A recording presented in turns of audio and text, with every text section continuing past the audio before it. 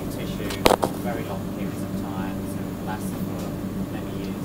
And, you know, whereas if you read on your box, on your box about your fish fingers, you can only keep them there for about three months. Whereas the brain sample, you don't want to be just kept for three months.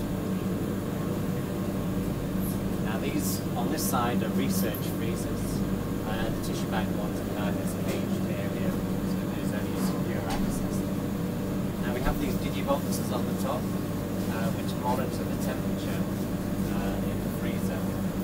You know, at home when you go away and you have a power failure and you have a disaster with your freezer, it's even worse if you have a power failure with the grate. So we have these digiboxes that monitor the temperature, and if the temperature starts to rise, uh, it will actually send us a message our leak, say one of the freezers. Uh, and also we've got, see that there is some tanks, some black tanks um, behind them, and that is liquid carbon dioxide. So if, if the worst came to worst and one of the compressors in the freezers failed, the liquid carbon dioxide would flow in, keep everything cold.